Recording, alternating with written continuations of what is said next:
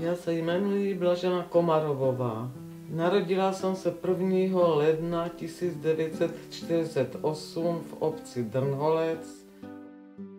Jmenuji se Plamen Komar. Narodil jsem se 17. ledna 1948 v Bulharsku ve městě Orjachovo. Jsme se přistěhovali do Drnholce na tu stejnou ulici a přes jeden barák, tak jsme šli pro vodu. Tenkrát eh, po válce nebyly vodovody, tak jsme chodili pro pitnou vodu do studně. A...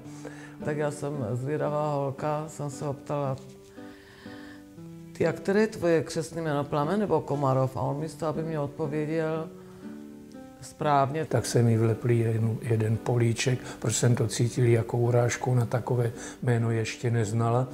No a pak... Jsem se mu teda vyhýbala, no bylo to asi tak eh, ve třetí třídě, to jsme tehdy se sestrou nosili delší vlasy. Seděli přede mnou. Tenkrát nebyly propisovací tušky, byl amingou, kalamáře. V nestřeženém okamžiku mě chytl za copánky a namočil mě do toho kalamáře s tím ghostem. Tak to už bylo pozdvižení. Paní učitelka se na něho zlobila, no a přišli jsme do maminka se taky zlobila, no ale nic, nic se nenadělalo s ním, no a pak další, tak, tak jsem se mu tuplem vyhýbala od té třetí třídy, no a pak asi v šesté, sedmé třídě už jsem začínala vyspívat, už mě začaly růst prsa.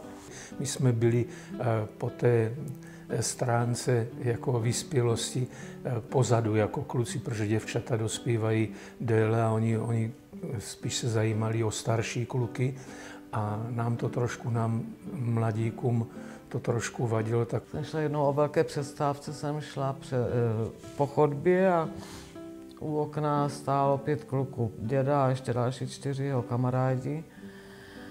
Já jsem nic, nic netušil, mě strčil, no, nastavil mě nohu a já jsem se rozpláskal na té chodbě široká jak dlouho.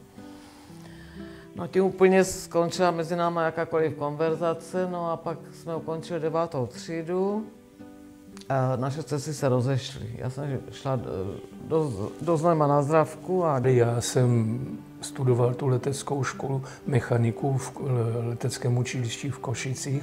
Když přijel poprvé dom po měsíci, tak jsem byla překvapená, on mě pozdravil. Řekl ahoj, jak se máš a tak jsme začali spolu se tak bavit. Prej se mi poprvé pozval do kina, částečně si na to pamatuju.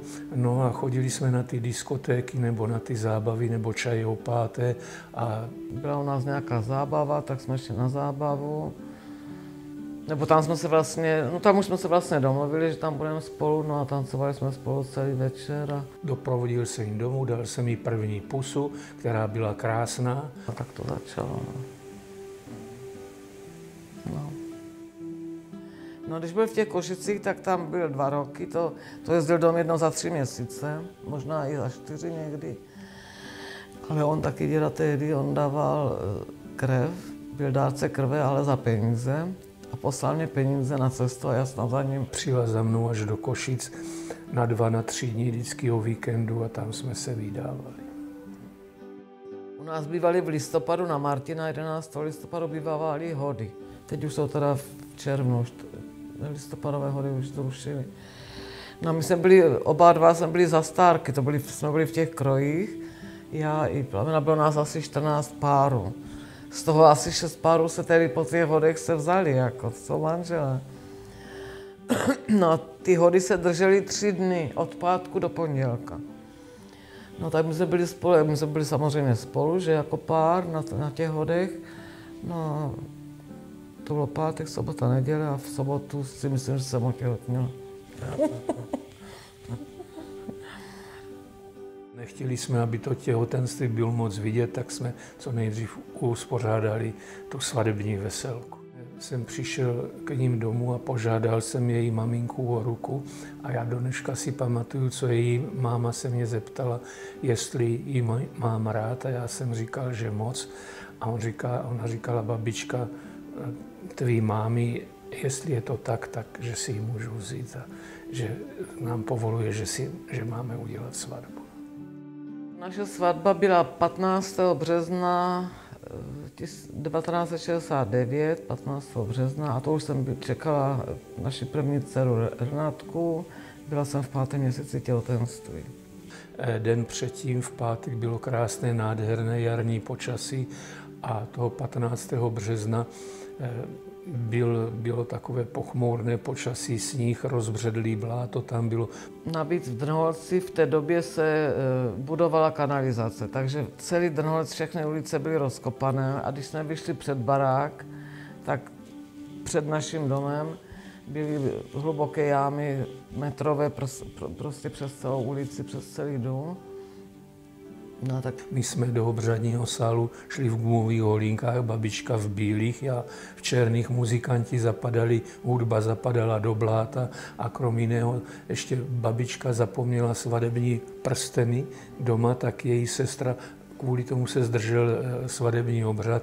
Její sestra musela k ním, k babičce domů a babička jí řekla, kde ty prsteny jsou uloženy, tak kvůli nám byla odložena ten svatební obřad o hodinu.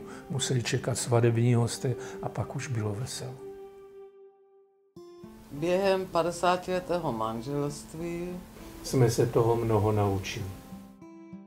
Vycházet si vzájemně stříc, pokud je problém, pohovorit o tom problému, protože jen takovým způsobem se to vyřeší. Nevyřeší se to tím, že, že někdo bude eh, já nevím, zavřen v pokoji a s tím druhým svým partnerem nebude hovořit.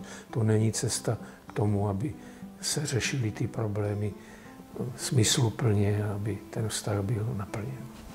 Chce to toleranci, eh, víru, důvěr, mít důvěru k tomu druhému, víš, že se na ně může spolehnout v těžkých, v lehkých chvílích